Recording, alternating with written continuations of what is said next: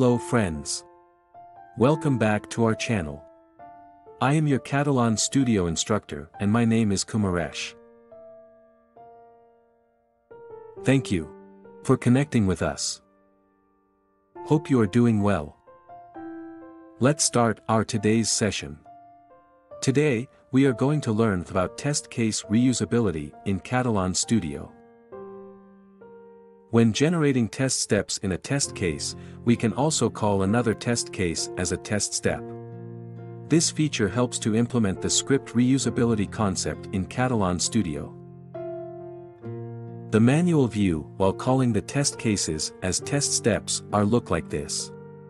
Basically the, the called test cases are treated as reusable components and using the test case variables, we can pass the test data to the test case. Here is the script view of the same. This article guides you through how to call a test case in manual view with detailed demonstration. Let's start the demonstration to see how to call test case.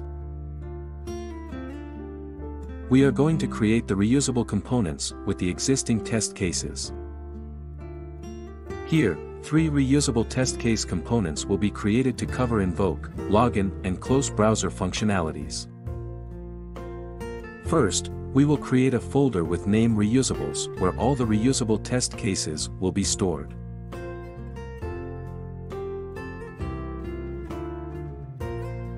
Copying the existing test case and paste it thrice.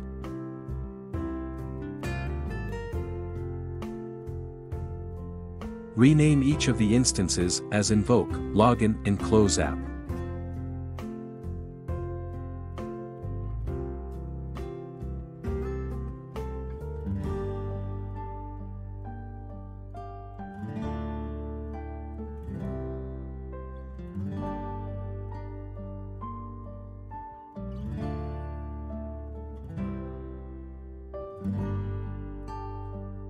Now start with invoke test case component. Double-click on it to open the test steps section. Keep the steps related to invoke application to show the login form and delete rest of the test steps. We will now create test case variable for URL which will be used to pass the test data as argument while calling.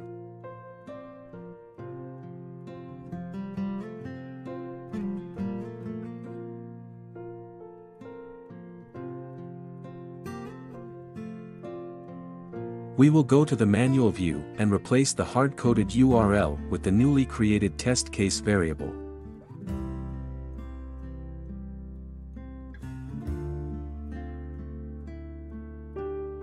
The reusable test case for Invoke application is now ready. Now we will work on login test case component. Keep the steps related to login functionalities and delete rest of the test steps. We need to create two test case variables for user and password which will be used to pass the test data as argument while calling.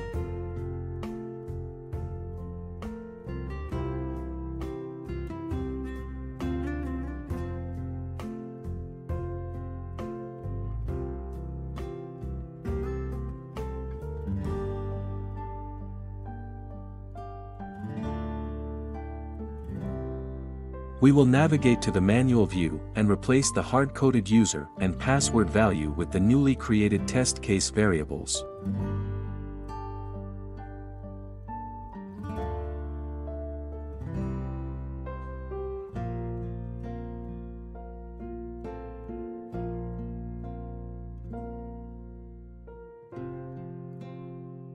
The login reusable is now ready. We are now left with close app component. Here we will keep only the close browser step and delete rest of the test steps.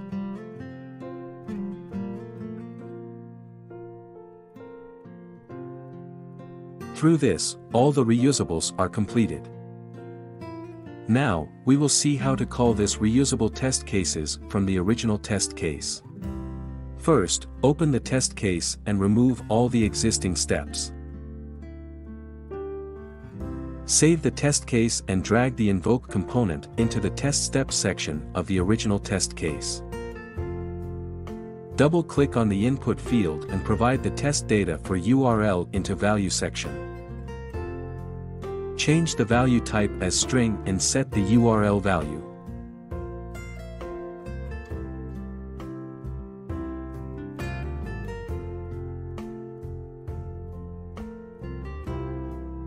Click on OK button to confirm.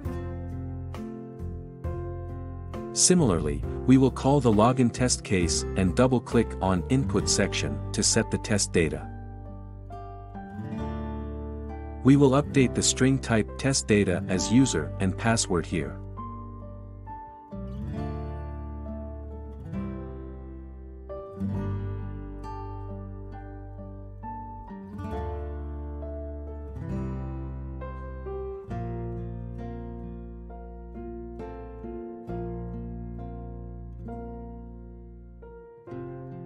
We can also assign the global variable value as well. Click OK to confirm. At the end, we will call the test case close app which does not have any input value. The original test case is developed with call to reusable test cases.